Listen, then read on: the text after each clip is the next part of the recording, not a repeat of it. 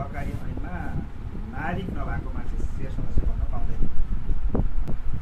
यो साकोसमा चाहिँ के रहेछ भने बालबालिकालाई पनि सेयर सदस्य बनाएको छ समस्या त्यहीँनिर हामीले के भनेको छौँ भने हामीले रद्द गरेका छैनौँ रद्द गर्ने हामीसँग अधिकार हुँदैन त्यो निर्वाचन समितिले नै रद्द गर्ने। हाललाई चाहिँ त्यहाँ को छ त बालबालिकाहरू चाहिँ सेयर सदस्य? सेयर सदस्य भएकोमा घटाउने या अभिभावकले ग्रहण गर्नुहोस् या सरकारी संस्था चाहिँ यो व्यक्ति बालबालिका चाहिँ भएकोले निजहरूको चाहिँ खारेज गरिएको छ भने निर्णय गर्नु पऱ्यो। अनि त्यसपछि जो अठार वर्ष पुगेका अथवा नेपाली नागरिकता लिएका व्यक्तिहरू मात्रै त्यहाँ सदस्य हुनु पऱ्यो।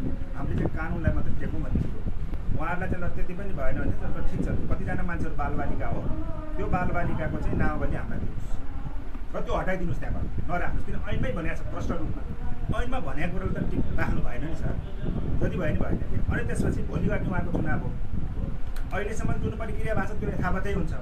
जो उम्मेदवार बन्नु भएको छ जो गर्छ भोट माग्नु भएको छ जो जो गर्नु भएको छ गर्नु भएको छ। त्यो यथावत हुन्छ। त्यो बालबालिका चाहिँ हटाइदिनुहोस् हटाएपछि भोलि गर्ने चुनाव दुई दिनपछि हाम्रो भनाइ। यसलाई गर्ने पनि त्यही। बालबालिका हट्नु पऱ्यो। किन सेयर सदस्य ऐनमै नभएको त बनिदिनु भएन नि सर। बनाउनु भएन त। गलत उहाँले भन्नुहुन्छ। अहिले गर्दाखेरि मैले बनाएको होइन। यो पहिल्यै बनाएको थियो जहिले बनाएको संस्थागत गलत त भयो त। उहाँले गर्नुभएको छ हामीले गलत गरेछौँ हामीलाई थाहा भएन सर। अनि उहाँले पनि भोट हाल्न नपाउने भन्ने तपाईँले निर्णय गर्छ भोट हाल्ने कुरो भएन नि यहाँ त सेयर सदस्यको कुरो हो कि सर?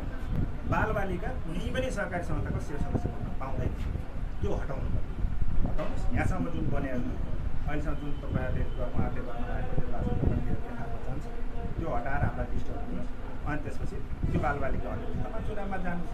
हामीले तिन दिनभित्रमा गौरव पाउनु भोलिसम्म उहाँले गराउनुहुन्छ भने भोलिको निर्वाचन नभएर पर्सि होला पर्सि भयो भने होला भने त्यति गर्नु भने उहाँको चुनाव रोक्नु। हामी रोक्ने पक्षमा भयो तपाईँ नियम बदल्नु त्यो पनि फेरि हामी कहाँ यहाँ निवेदन नपरे भए कसरी गर्नुहुन्थ्यो के गर्नुहुन्थ्यो हाम्रो सरकार पनि भयो कसको बालबालिका छ तेरोमा को छ भन्दै हामीले आएको पनि छैन।